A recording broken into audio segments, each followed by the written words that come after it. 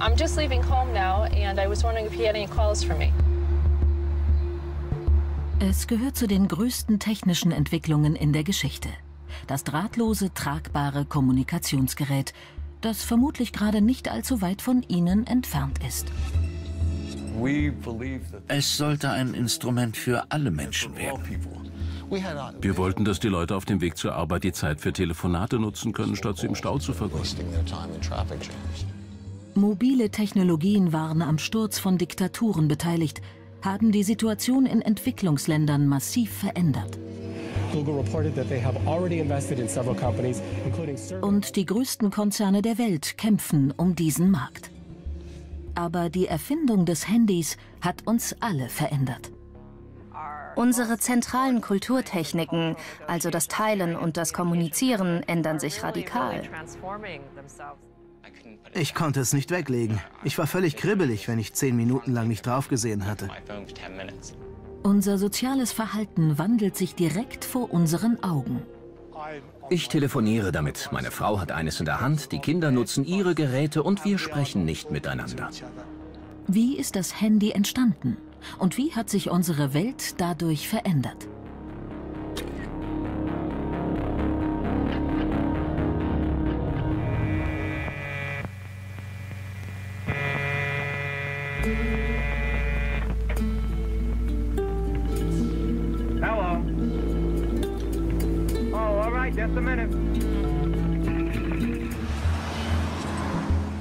Es ist nur wenige Jahrzehnte her, da konnte man nur ortsgebunden miteinander telefonieren.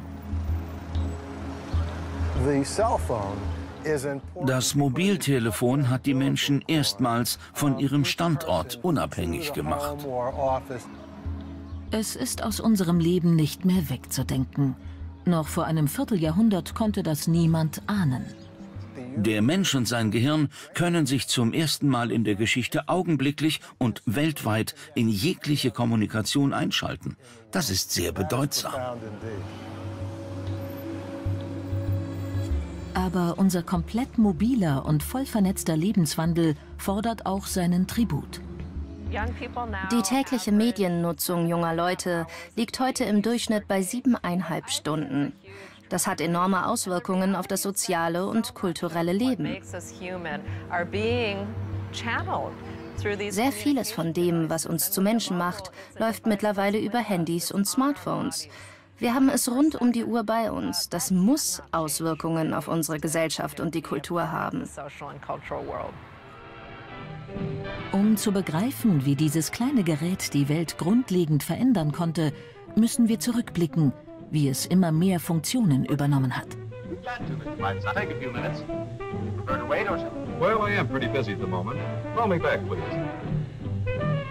Die Idee mobiler Kommunikation gibt es schon lange. Bereits vor 90 Jahren erscheint diese deutsche Karikatur einer Telefonunterhaltung auf offener Straße. Ebenfalls in Deutschland entsteht in den 1920er Jahren erstmals etwas, das man Mobilfunk nennen könnte, die Zugtelefonie. Noch wesentlich ortsunabhängiger wird das Telefon, als man es in den USA nach dem Zweiten Weltkrieg in Autos einbaut. Allerdings ist dann im Kofferraum kaum noch Platz für Gepäck. Bevor es aber echte Mobiltelefone für die breite Masse gibt, sind zwei Probleme zu lösen. Sie müssen vor allem viel kleiner werden. Und man braucht mehr Funkfrequenzen. Der Platz im Äther ist schon knapp.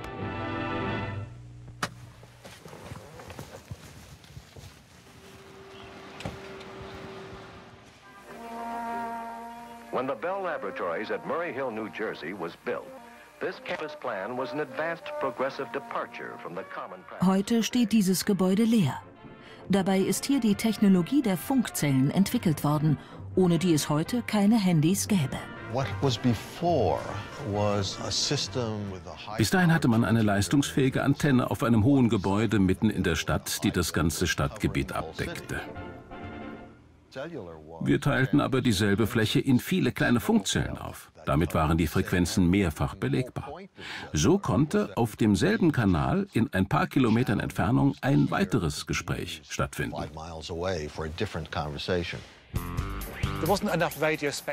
Es gab nicht genügend verschiedene Funkfrequenzen. Aber mit vielen einzelnen Funkzellen könnte man wirklich unterwegs telefonieren. Wir lösten das Problem, wie das Funktelefon im Netz gefunden wird und in andere Funkzellen wechseln kann. So konnte man von Zelle zu Zelle fahren und telefonieren, ohne dass das Gespräch abbrach. Revolutionär.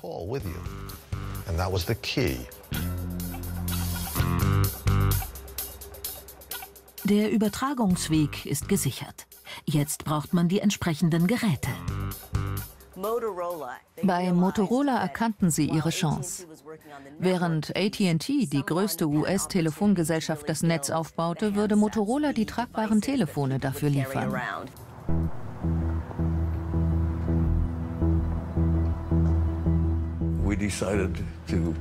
Wir beschlossen, ATT die Stirn zu bieten.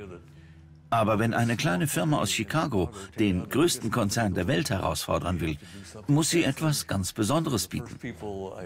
Als erstes habe ich mit Industriedesignern gesprochen. Wir werden ein tragbares Mobiltelefon bauen. Die wussten gar nicht, wovon die Rede ist. Es bekam gleich den Spitznamen der Schuh. Das Urhandy, das erste tragbare Telefon. Schwer und sehr einfach, was die Funktionen angeht. Oh, Man kann sprechen und hören, auflegen und anrufen. Uh, Martin Cooper leitet damals die Entwicklung dieses Telefons. Er ist auch der allererste Mensch, der mit einem Handy telefonieren darf. Dieses Gespräch 1973 gilt in der Tat als das erste Mobiltelefonat. Es war allerdings noch im Versuchsstadium.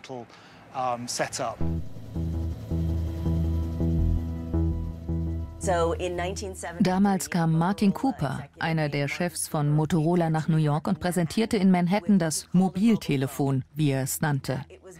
Mobil war es allerdings kaum. Es bekam den Spitznamen Schuh, weil es so riesig wie ein großer Herrenschuh war.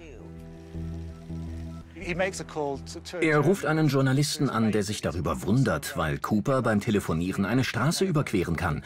Das Konzept des Handys funktioniert. Übrigens bin ich während des Gesprächs auf die Straße getreten und man musste mich retten. Denn zum ersten Mal ist jemand mit Handy fast von einem New Yorker Taxi angefahren worden.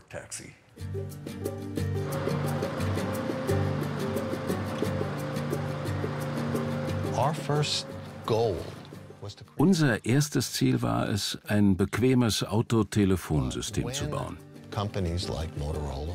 Aber als Motorola und Martin Cooper mit dem Handy ankamen, war beim Thema Mobilfunk plötzlich noch viel mehr drin.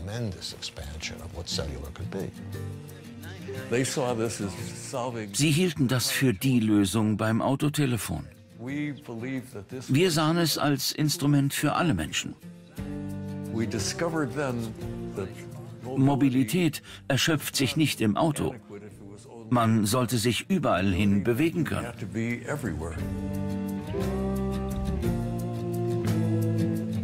Amerika ist zwar die Wiege des Mobiltelefons, aber anderswo ist man bald schon viel weiter. Komplizierte Vorschriften und Regulierungen verhindern noch viele Jahre lang die Verbreitung des Mobilfunks in den USA.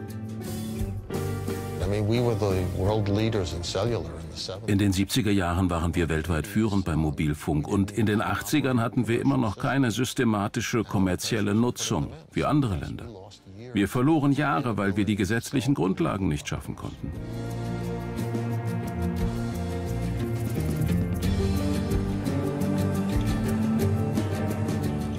Der Durchbruch der neuen Technik gelingt nämlich in einer ganz anderen Gegend der Welt.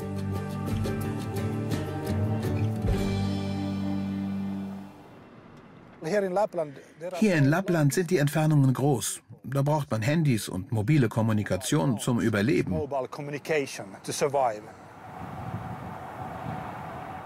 Im nördlichsten Teil Europas erleben die Handys ihren ersten Boom, dank der Zusammenarbeit mehrerer Länder.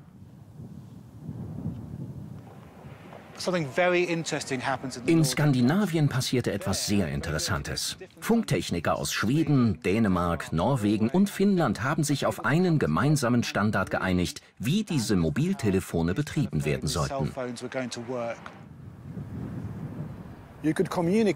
Man konnte dann sogar hier in den Bergen telefonieren, auf dem Meer und von Auto zu Auto. Es hat wirklich super funktioniert. Der Netzstandard war so gut, dass man überall in Finnland und in ganz Skandinavien Empfang hatte.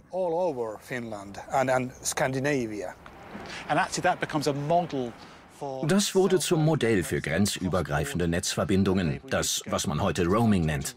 In den USA ist das Gegenteil der Fall. Dort hat beinahe jede Stadt ihr eigenes Handynetz.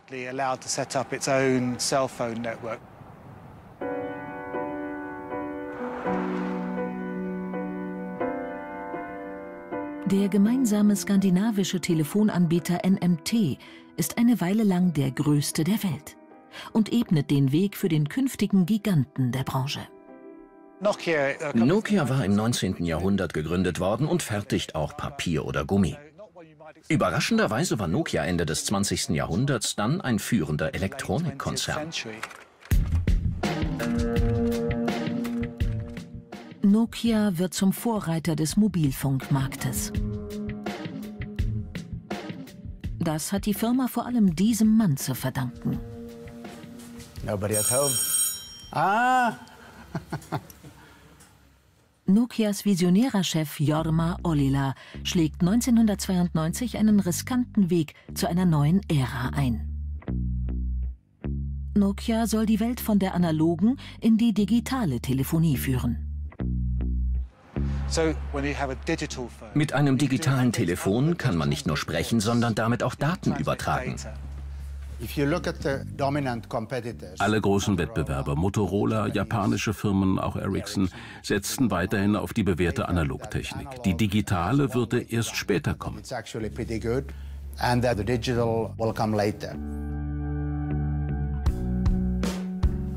Wir waren neu im Geschäft, aber uns ist 1991 oder 92 klar geworden, dass hierin eine große Chance lag.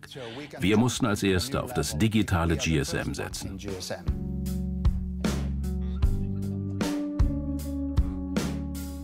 Olilas Strategie ist äußerst gewagt. Ich bekam schweißnasse Hände. Er setzte alles auf eine Karte. Aber der spektakuläre Erfolg gab ihm recht. Nokia wurde zum größten Handyhersteller der Welt. Dies ist das erste Modell, das die Dimensionen dieser Strategie erahnen lässt. Das war der Kassenschlager. Jetzt verstand jeder die Bedeutung von GSM. Die Verkaufsprognose für dieses Modell war 400.000 Stück. Losgeworden sind wir davon 20 Millionen. Und zwar mit einer revolutionären zusätzlichen Kommunikationsmöglichkeit per SMS als Kurztextnachricht. Matti Makkonen hat die allererste verschickt, wovon er oft in Schulen erzählt. Was ich genau in dieser SMS geschrieben habe, weiß ich nicht mehr. Jedenfalls nichts Geschäftliches. Eher sowas wie Hallo.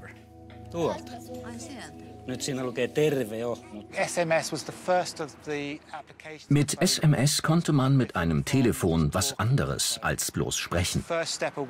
Das war der erste Schritt hin zum Allround-Gerät. Niemand ahnte, welche Lawine mit SMS losgetreten würde. Wir dachten bei den Kurznachrichten vor allem an geschäftliche Anwendungsbereiche. Zum Beispiel könnten Außendienstmitarbeiter damit Nachrichten an die Zentrale schicken. Aber interessanterweise finden wir in der Technologiegeschichte oft, dass die Anwender entdecken, worin der eigentliche Nutzen liegt. SMS ist dafür ein gutes Beispiel.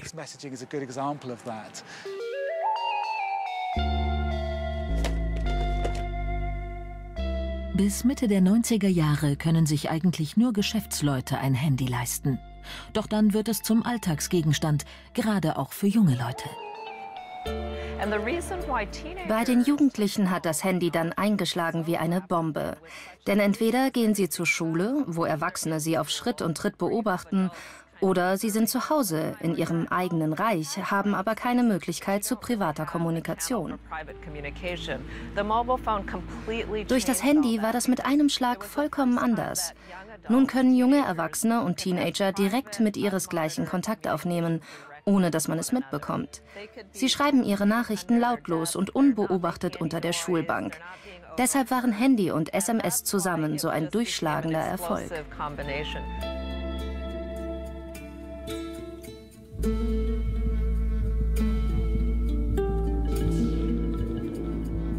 Erstmals kommen Zweifel auf. Und Langzeitstudien erhärten sie später, dass Handys nicht ausschließlich positive Auswirkungen haben. Viel Telefonierer beginnen sich zu fragen, ob Handystrahlung langfristig gefährlich ist. Und auch der SMS-Stil wirkt sich auf den Satzbau und die Rechtschreibung von Jugendlichen aus. Doch dann bekommen die Handys eine weitere Funktion, die niemanden von uns kalt lassen würde.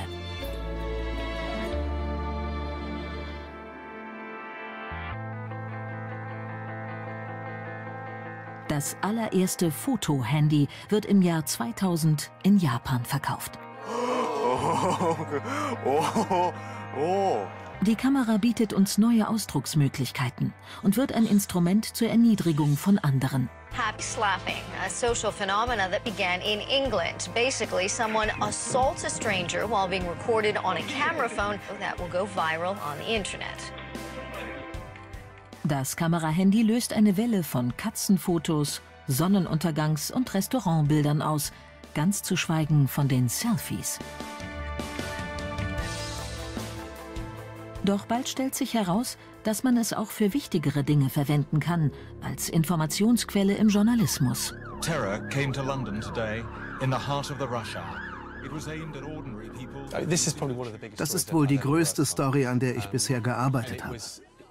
Sie war besonders dramatisch, da wir von den Menschen direkt vor Ort Informationen geliefert bekamen. Auf eine nie dagewesene Art und Weise.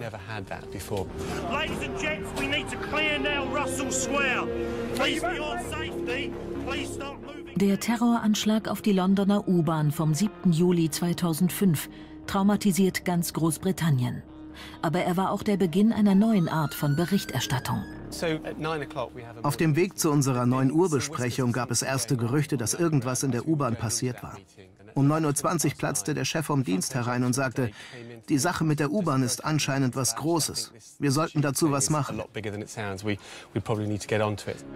Zuerst treffen Augenzeugenberichte per E-Mail ein, dann auch Videos direkt aus der U-Bahn. Ungefähr um halb zwölf erhielten wir das Bild des Tages. In diesem einen Bild ist die Bedeutung von Inhalten, die die User selbst herstellen, besonders deutlich geworden. Mich hat dieses Bild aus dem Video sehr berührt, in dem die Menschen durch den Tunnel laufen, weg von der Dunkelheit, dem Chaos, dem Durcheinander von der Bombe in der U-Bahn. Für mich fasste dieses Bild alles zusammen, auf eine sehr eindrückliche Weise.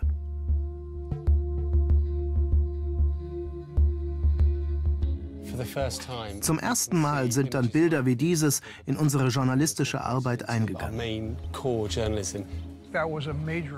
Ein echter Meilenstein.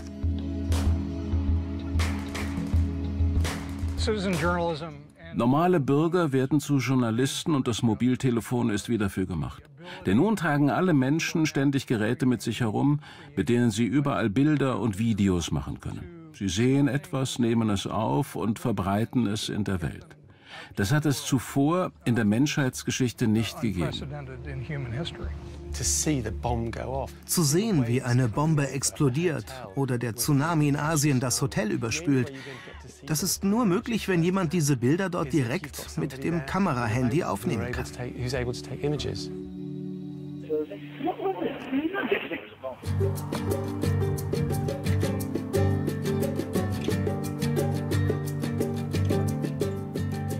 Der nächste Entwicklungsschritt des Handys, die Verbindung des Telefons mit dem Internet, wird im neuen Jahrtausend zum absoluten Knüller, zur Revolution in der Telekommunikation.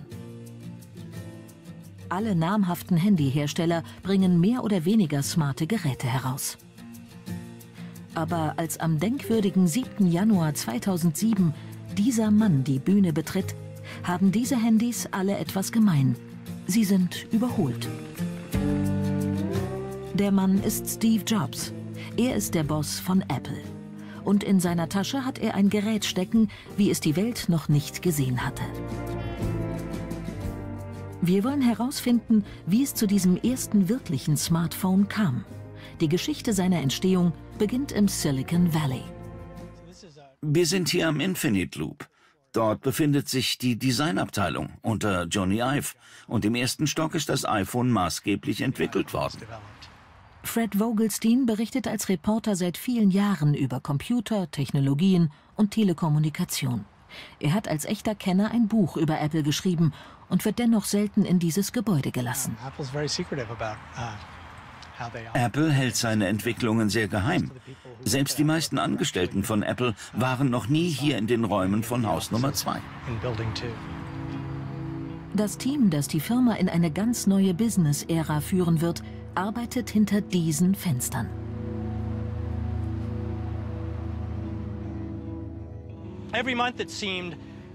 Monat für Monat breitete sich dieses supergeheime Projektteam hier im Gebäude weiter aus. Wer nicht hinzugezogen wurde, stand als Außenseiter da. Die iPhone-Entwicklung war innerhalb des Apple-Konzerns streng geheim. Und selbst im Team wussten nur wenige über alles Bescheid. Sogar die Hardware-Entwickler durften nicht wissen, wie das Endprodukt aussehen sollte. Der Einzige, der Zugang zu allem hatte, war Steve Jobs.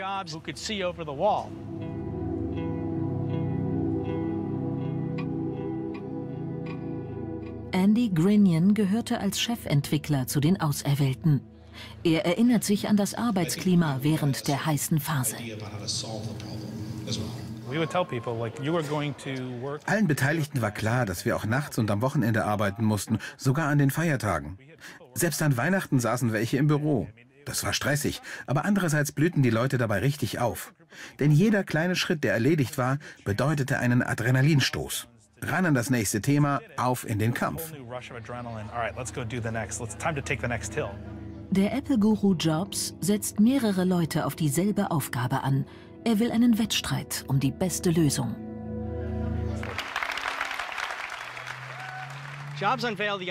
Jobs enthüllte das iPhone bei der Macworld Messe Anfang Januar 2007. Er trat auf die Bühne und sagte, This is a day I've been looking forward to for two and a half years. And er sprach von den verschiedenen Geräten, deren Symbole hinter ihm an die Wand projiziert wurden und wiederholte, an iPod, a phone, and an internet communicator.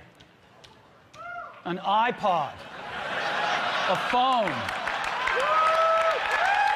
Are you getting it? These aren't three devices. Es sind drei Geräte in einem. Es heißt iPhone. iPhone. Aber das iPhone ist längst noch nicht fertig. Nur wenige wissen, wie kritisch die Sache ist.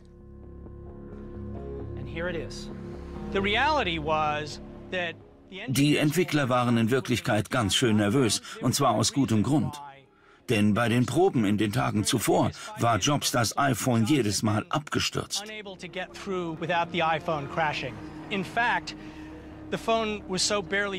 Das Smartphone war noch so fehlerhaft, dass die Präsentation nur klappen würde, wenn Jobs dabei eine ganz bestimmte Reihenfolge genau einhielt. Den goldenen Weg. And to unlock the phone, I just take my finger and slide it across. Right? You want to see that again? And so if I want to get in the iPod, I just go down that lower right-hand corner and push this icon right here, and boom, I'm in the iPod. Hatte Jobs einen Teil der Vorführung absolviert, nahm der dafür verantwortliche Programmierer einen Schluck Whisky. So überstanden wir die Show. Das iPhone setzt mit diversen Innovationen einen neuen Standard. Steve Jobs wollte unbedingt ohne Eingabestift auskommen. Wer hat schon immer einen Stylus bei der Hand? Und keine Tasten, außer der fürs Ein- und Ausschalten.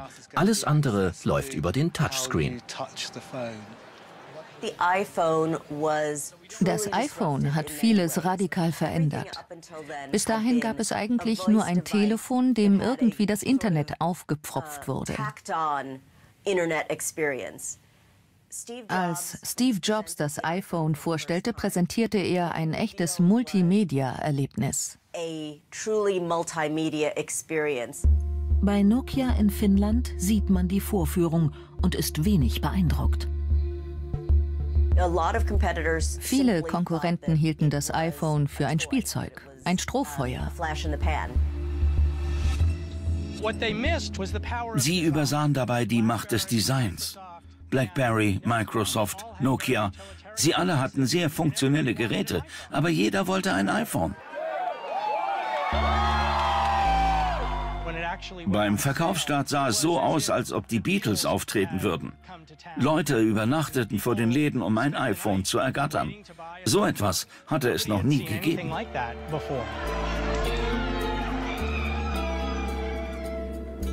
Den Großen der Branche wird bald klar, dass die Zukunft Steve Jobs und seinem Konzept gehörte.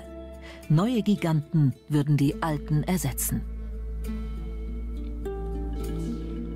Hätten wir bei Nokia mehr tun können?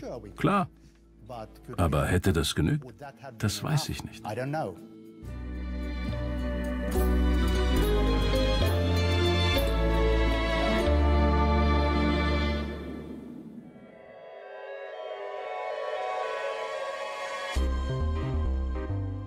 In den folgenden Monaten und Jahren bekommt das Smartphone immer neue Funktionen und ersetzt viele andere Geräte. Es wird unser ständiger Begleiter und ist so vielseitig wie ein Schweizer Taschenmesser. Über GPS und Funkzellen weiß es außerdem immer genau, wo wir sind oder wie wir an unser Ziel kommen.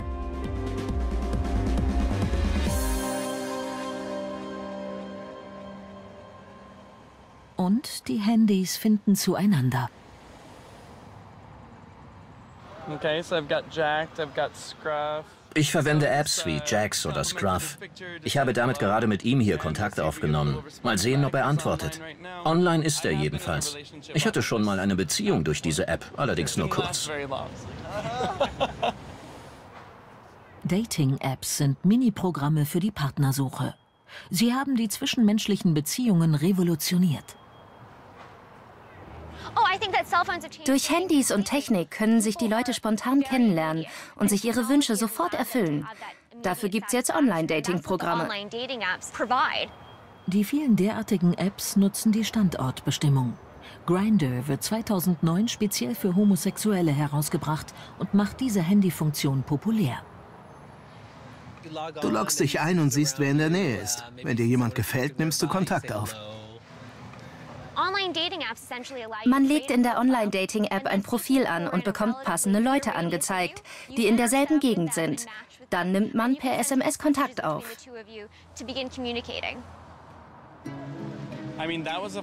Das war eine positive Neuerung. Es ist mehr als nur eine Dating-Website, wo man nicht weiß, wie weit der andere entfernt ist.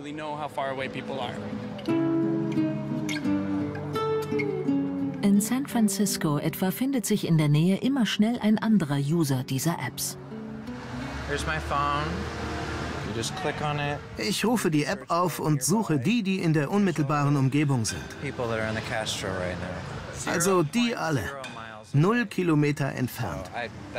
Ganz nah. Also eigentlich genau hier. Ganz abgesehen von den sexuellen Vorlieben hat das Smartphone aus dem Online-Dating eine echte Massenbeschäftigung gemacht.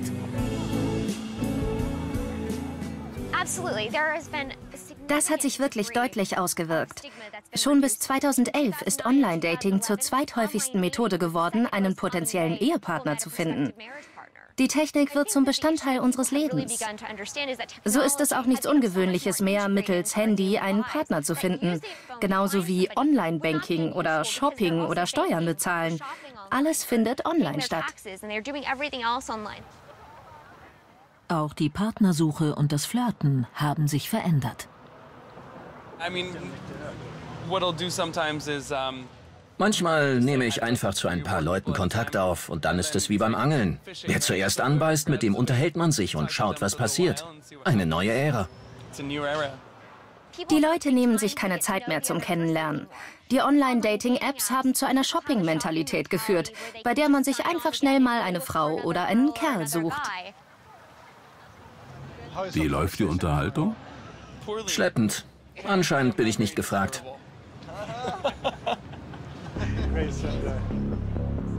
Die Technologie der Apps mit Positionsbestimmung ist nicht sehr kompliziert.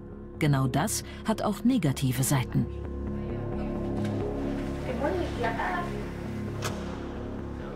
Hi, welcome to EFF. Seth Schoen von der kritischen Electronic Frontier Foundation weist darauf hin, dass wir mit dem Handy als ständigem Begleiter vielleicht mehr über uns preisgeben, als wir wollen. Mobilgeräte sind heutzutage wohl die größte Bedrohung unserer Privatsphäre, vor allem weil sie unseren Aufenthaltsort preisgeben. Let's get some altitude. Diese Drohne über dem Hyde Park in London demonstriert, wie die Inhalte unseres Smartphones in falsche Hände geraten können. Die Software scannt gerade alle Smartphones der Leute hier in der Nähe und speichert exakt, wer sich wann wo aufhält. Mit diesen Infos könnte man jetzt auch illegale Dinge tun. Um sich auf einfache Weise gegen solche Eingriffe zu schützen, sollte das WLAN im Smartphone immer abgeschaltet sein, sobald man aus dem Haus geht. Wenn man das WLAN angeschaltet lässt, was erfahrungsgemäß die meisten von uns tun, sucht das Handy ständig nach allen Verbindungen, die man jemals aktiviert hat. Starbucks, bitte kommen. Ist McDonald's kostenloses WLAN verfügbar? Es ist streng verboten, aber ich könnte die betreffenden Smartphones hier dazu bringen, sich mit dem WLAN-Punkt in meiner Drohne zu verbinden. Ich müsste nur vorgeben, McDonald's zu sein. Die Leute surfen im mobilen Internet und ich könnte ihre Daten alle abfangen. Es gibt auch handfeste kommerzielle Interessen an den WLAN-Verbindungen in unseren Smartphones. Als wir gerade die Straße runtergingen, kamen wir an einem Geschäft vorbei, das so statistische Daten von seinen Kunden sammelt. Nur dieser kleine Aufkleber hier weist darauf hin. Wir nutzen Euclid Analytics. Unsere Handys lassen sich ohne große Investition leicht ausspionieren. Deshalb werden ständig irgendwo Daten von uns abgegriffen. Ich habe einen kleinen WLAN-Adapter für meinen Laptop, der genau dasselbe kann wie diese Firma. Und den habe ich für 30 Dollar gekauft. Wo sind denn noch Sensoren postiert? Hier an der Straße, im Krankenhaus, vom Staat irgendwo platziert oder an einer Drohne? Die alle können solche Informationen sammeln und weisen nicht mit einem Aufkleber darauf hin. Im schlimmsten Fall könnte ein Staat mit Hilfe der Mobiltechnologie sein eigenes Volk ausspionieren. Zum Beispiel bei einer friedlichen Demonstration in der Innenstadt. Da können Sie mit solchen Drohnen alle Anwesenden registrieren. Aha, diese 5000 Handys waren bei dieser Demo. Das merken wir uns. Einen dramatischen Fall hatten wir am Maidan in Kiew in der Ukraine. Da bekamen alle Leute, die an einem bestimmten Tag dort waren, eine SMS. Lieber Kunde, Sie sind als Teilnehmer einer Massenunruhe registriert worden. Also da hatte jemand nicht nur die technische Fähigkeit, über die Mobiltelefone herauszufinden, wer alles am Maidan gewesen war. Sie wurde auch angewendet und die Leute waren identifiziert. Das ist sehr beunruhigend. Mit den Mobiltelefonen hat man uns bequeme Alleskönnergeräte in die Hand gegeben. Als Gegenleistung geben wir enorm viel von uns preis. Die Geräte verraten auch, welche Leute zur selben Zeit am selben Ort waren. Auch wenn wir nicht wollen, dass unsere geschäftlichen Besprechungen, Aktivitäten bei Bürgerinitiativen oder unsere Arztbesuche öffentlich werden. Im Mobilnetz bleiben diese Übereinstimmungen und Verbindungen nicht geheim.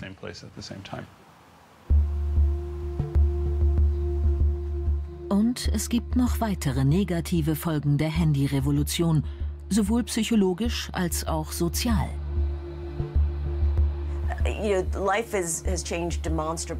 Unser Leben hat sich dadurch in vielerlei Weise gewandelt. Tausende Dinge laufen dadurch anders ab. Wir haben aber auch ein wenig von unseren sozialen Umgangsformen der Ära vor den Handys verloren. Ich telefoniere damit. Meine Frau hat eines in der Hand, die Kinder nutzen ihre Geräte, aber wir sprechen nicht miteinander. Das ist eine sehr süchtig machende Technologie. Man kann dieses kleine tragbare Wunderding kaum noch aus der Hand legen. Neuere Studien belegen, dass wir inzwischen rund 200 Mal am Tag zum Smartphone greifen. Wir verbringen täglich 195 Minuten damit, also rund einen ganzen Tag pro Woche. Bei vielen liegt es nachts immer griffbereit neben dem Bett. Es muss mit auf die Toilette und einmal einen Tag ohne das Handy das Haus zu verlassen, können sich die wenigsten überhaupt noch vorstellen. Es gibt bereits Anzeichen dafür, dass der Umgang mit unserem Handy zu handfesten Problemen führen kann.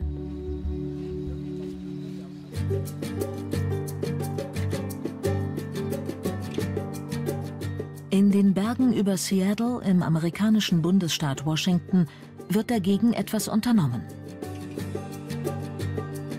Restart heißt eine idyllisch und abgeschieden gelegene Einrichtung, in der sich Menschen behandeln lassen, die ihre Smartphone-Nutzung nicht mehr unter Kontrolle haben und süchtig geworden sind. Hier ist ein Aufenthaltsraum für die Jungs. Und da ist unsere öffentliche Telefonzelle, wenn sie mal zu Hause anrufen wollen. Das fortschrittlichste, was Restart an Kommunikationsmitteln zu bieten hat. Ja, das ist unser Telefon. Ja, no TV. Kein Fernseher, kein Computer, kein Handy, keinerlei Elektronik. Zuerst denkst du, das schaffe ich. Am zweiten Tag vermisst man den Online-Zugang. Am dritten Tag ist es schon richtiger Entzug. Schrecklich. Das Schlimmste ist, sich darauf einzustellen, keinen Zugang zur Datenautobahn mehr zu haben. So hat man früher gesagt. Ich klinge alt. Ah, man, that phrase makes me sound old. Hier sind überall Sport- und Fitnessgeräte. Die Jungs müssen alles hinter sich lassen. Wir entgiften sie. Viele der Betroffenen haben lange Zeit in totaler Isolation vor einem Bildschirm verbracht. Soziale Kontakte hatten sie nur noch online, beim Gaming, in sozialen Netzwerken oder per SMS. Hier haben sie persönlichen Kontakt zueinander und kommunizieren nicht über einen Bildschirm. Meistens sind es junge Männer, die mit einer Techniksucht kämpfen die sich oft aus exzessivem Videospielen entwickelt hat. Das Smartphone hat das Problem noch verschärft. Diese Abhängigkeit entsteht, wenn das Belohnungssystem im Gehirn überreizt wird. Man sendet eine SMS, freut sich auf eine Reaktion empfindet eine eintreffende Antwort als Belohnung und es wird etwas Dopamin im Gehirn ausgeschüttet. Und das nur bei einer SMS. Smartphones sind kleine Computer, die man immer bei sich haben kann. Und je intensiver die Belohnungen, die man dabei empfindet, desto schneller wird man davon abhängig. Man denkt, ich schalte es einfach aus. Aber einen Alkoholiker befreit man auch nicht von der Sucht, wenn man ihm rät, sein Bier wegzukippen. Das löst das Suchtproblem nicht.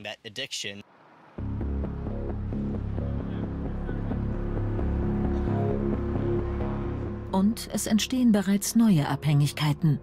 Daniel Bowman ist der erste Brite mit der Diagnose Selfie-Sucht. Ich konnte es nicht weglegen. Ich war völlig kribbelig, wenn ich zehn Minuten lang nicht draufgesehen hatte. Zig Stunden pro Tag habe ich vor dem Spiegel verbracht und massenhaft Fotos von mir gemacht. Ich wollte in meinen Facebook- und Twitter-Profilen perfekt aussehen.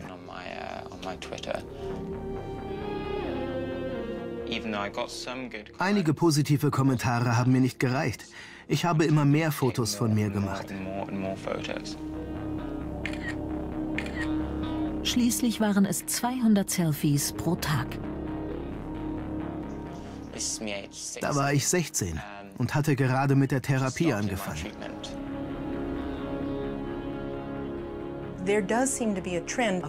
Man sieht einen Trend, dass die Leute aus dem Posten gar nicht mehr herauskommen. Sie definieren sich über die Anzahl von Gefällt mir Einträgen und die Kommentare der anderen.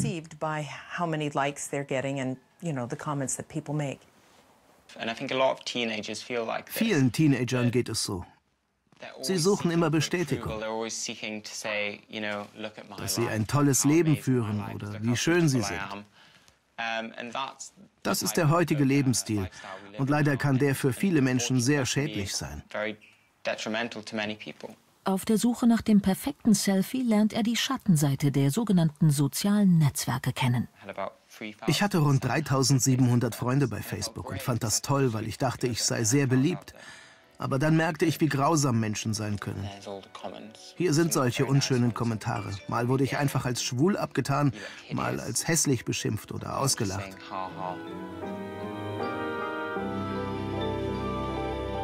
Die jungen Männer bereiten sich nach dem Aufenthalt bei Restart auf ein Leben vor, in dem technische Geräte nicht alles sind.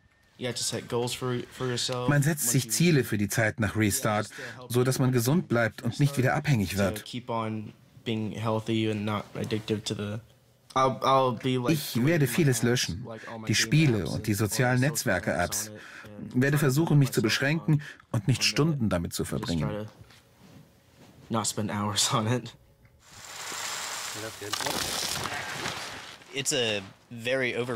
Das ist ein großes Problem in der Jugendkultur. Wir lachen und sagen, ich bin süchtig nach meinem Handy. Es soll ein Witz sein, aber es ist die Wahrheit. Das Handy hat auch seine Schattenseiten.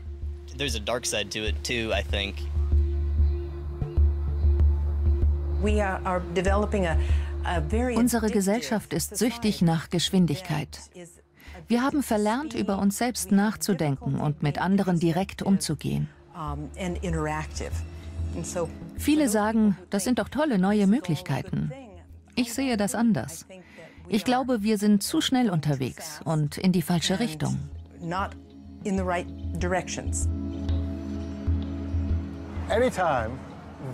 Jede neue Technologie und jedes neu entwickelte Kommunikationsmittel erntet auch Kritik. Die Leute lehnten auch das Kino ab.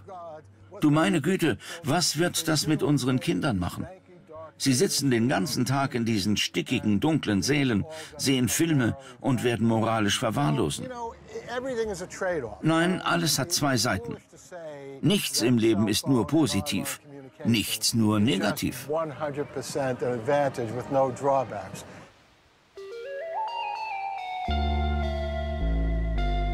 Das Mobiltelefon hat die Gesellschaft umgekrempelt. Welche Folgen das langfristig haben wird, ahnen wir noch gar nicht.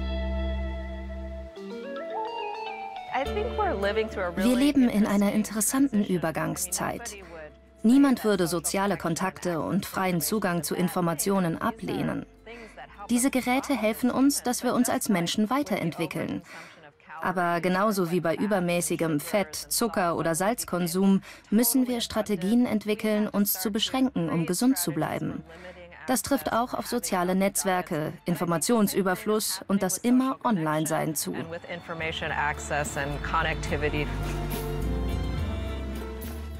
Wenn Sie ohne Auskommen und zufrieden mit Ihrem Leben sind, brauchen Sie kein Handy. Aber würden Sie auf Ihres wirklich verzichten?